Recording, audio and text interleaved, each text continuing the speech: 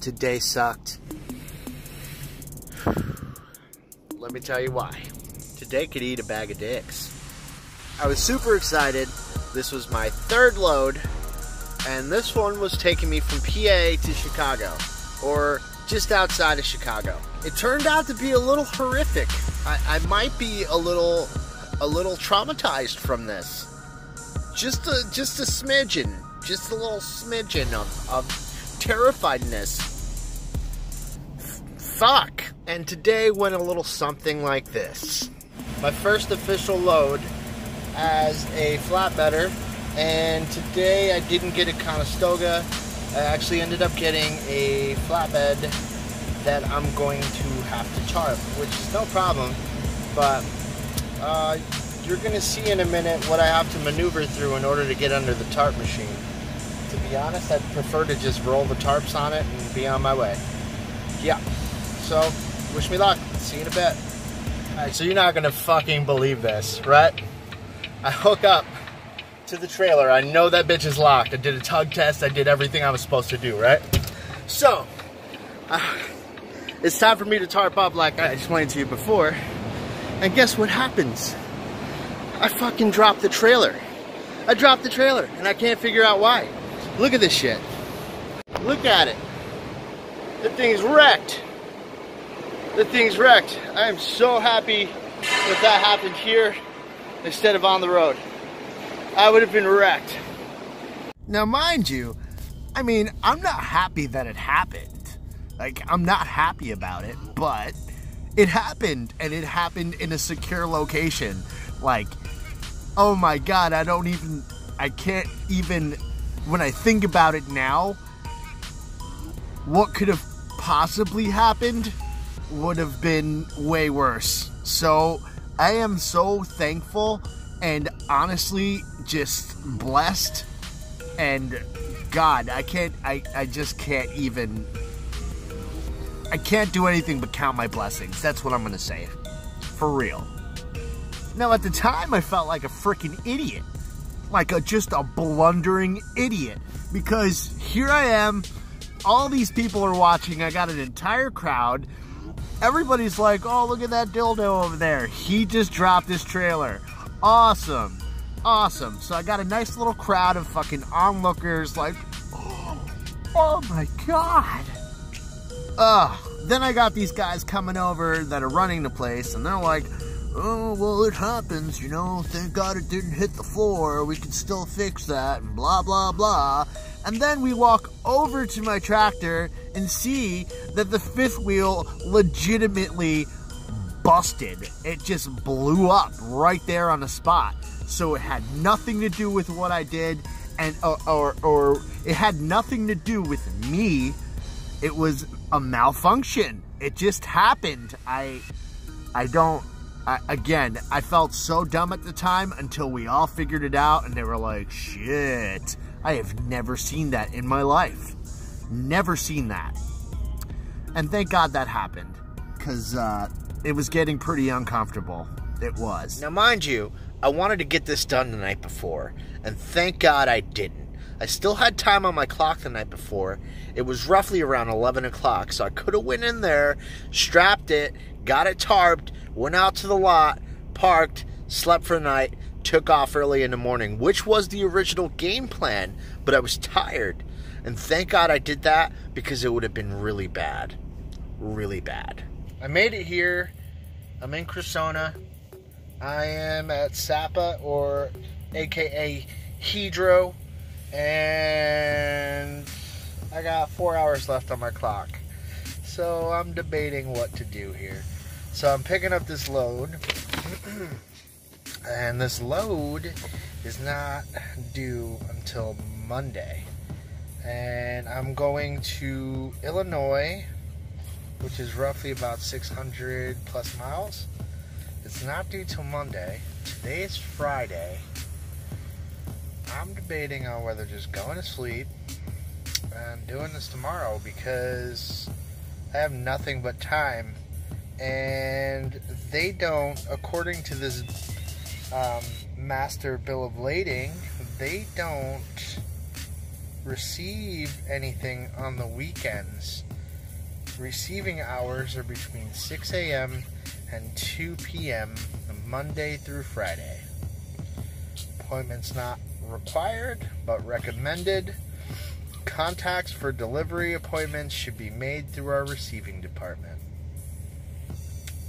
So, call shipping slash receiving department 24 hours prior to delivery. So, I guess I would call Sunday, but if there's no one there, I guess I just show up early on Monday. Um, this is uh, a confession of a rookie. I'm not really sure what to do there, but I will call. I'll try it. It is what it is. So, um, so yeah, I'm in Cressona, Pennsylvania for the night. I think I'm gonna take it down, man. I'm shutting it down, and I'll see you in the morning. And I'll see you in the morning.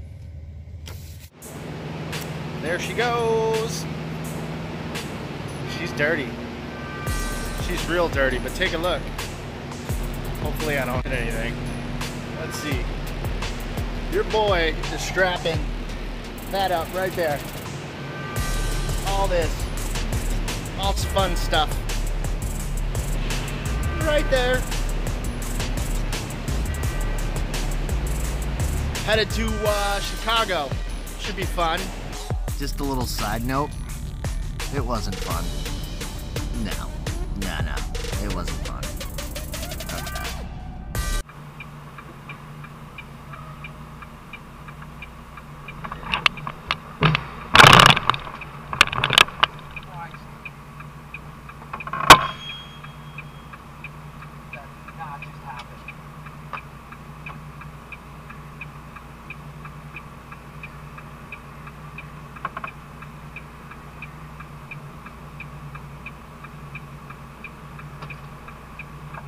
Truck number 722-329. Okay, what can I do for you, Oscar? Um, well, I was just hooked up to a trailer, uh, getting ready to tarp my load out here in Sapa in Cressona, and um, my locking jaw exploded, and I believe I'm broken down. Now, forgive me, I don't know the proper procedures or etiquette. Uh, this is the first time I have to call breakdown. I'm I'm as green as can be. Okay, well that's no problem. So far you're doing all right. All right. okay, number one, I need I need the pictures. So you got pen and paper, and I'll give you a phone number where to send the pictures. Okay. I don't know how I'm gonna feel about this after I get this fixed. So let me send these pictures over to um, to breakdown, and I'll get right back to you.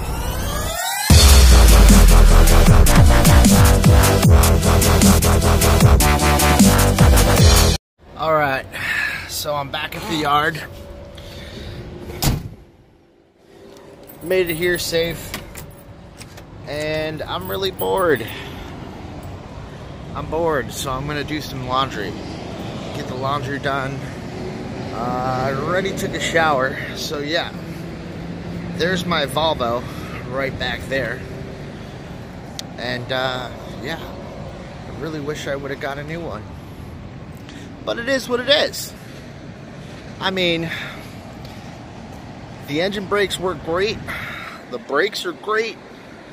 The fifth wheel, not so much.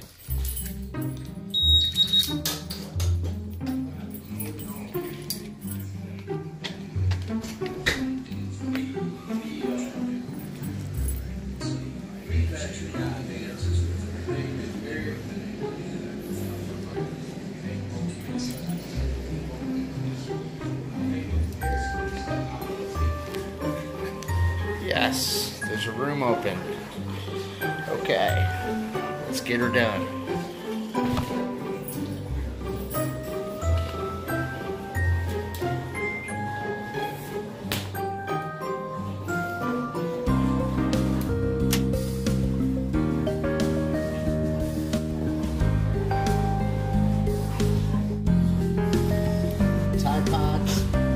don't eat these, kids. Please don't eat these.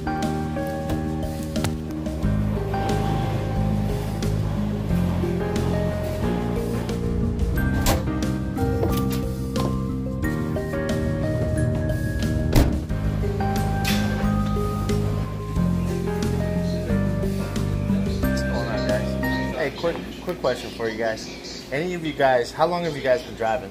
Long enough. Any of you guys ever seen a locking jaw just completely explode?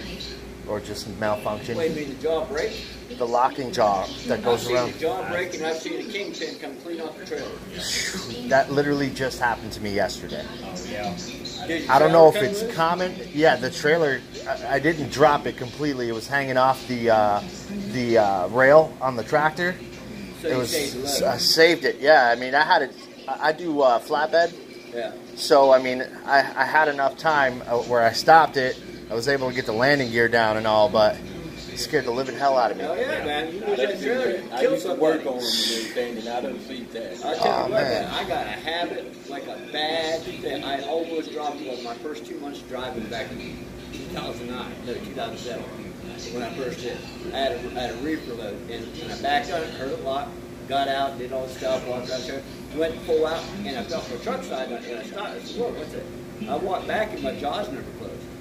The pin, the, my, it, my lever kicked in, but the jaws never closed. Yeah. So I had to crank it back down. I pulled up underneath it. I took the truck. I said, "You need to fix this shit, bud." Yeah. I hope I can put this behind me and just move forward. Um, I'm not going to let it scare me past the point where I don't want to do this anymore. I don't know. You guys saw the picture, you saw the videos. Um, did I do something wrong there, or was that clearly a malfunction? I mean, like I said, I tug tested, I heard it lock, I got out, checked it with a flashlight, it was locked around the kingpin.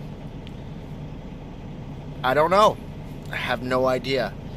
But I hope to get it fixed or a new truck or whatever whatever it is that they're going to do. I have no idea.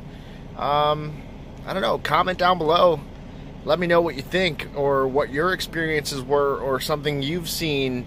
I mean, is this common? Is it a common thing? I don't know. I have no idea. So, yeah. After talking to some old timers, I feel a lot better about this situation.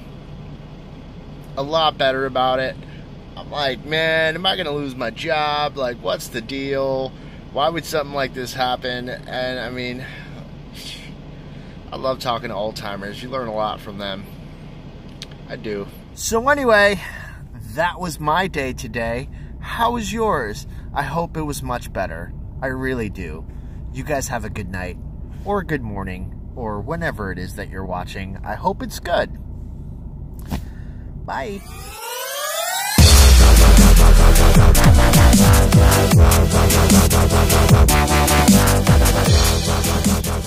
Thank